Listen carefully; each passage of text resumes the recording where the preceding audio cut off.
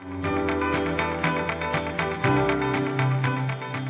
guys, hari ini aku akan membagikan informasi mengenai propolis. Lebah menghasilkan 5 produk. Ada madu, bee wax, bee pollen, royal jelly, dan juga propolis. Apa sih perbedaan propolis dan juga madu? Ini nih perbedaannya.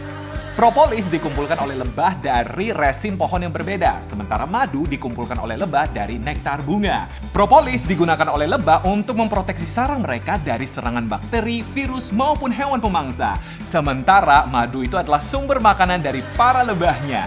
Untuk urusan produk propolis yang terpercaya, aku percayakan kepada Evi Propolis. Manfaat dari Evi Propolis sendiri adalah antioksidan, antibakteri, antivirus, dan juga antiinflamasi ataupun radang karena kaya akan polyphenols dan juga flavonoids. Ketika tenggorokanku lagi sakit maupun gatal ataupun kurang enak, aku teteskan aja 3 tetes Evi Propolis ini. Langsung lega deh. Untuk kesehatan sehari-hari, biasanya aku teteskan 3 tetes di pagi hari maupun sebelum tidur. Evi Propolis ini natural banget, sehingga aman untuk dikonsumsi oleh anak-anak berusia 1 tahun sampai dengan lanjut usia.